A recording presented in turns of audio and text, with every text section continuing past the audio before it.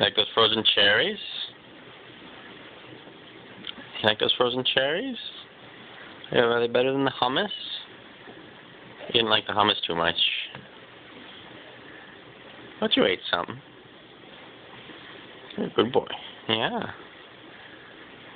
These cherries tastier, or at least colder. Cherries taste a lot better after hummus. Mm. Tastes better after hummus.